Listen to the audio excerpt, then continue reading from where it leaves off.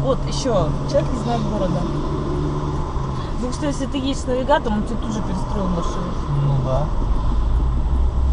Может, он и так перестроил, конечно. Сомневаюсь. А, чувак разворачивается по малому радиусу. Прям... Ой, блядь!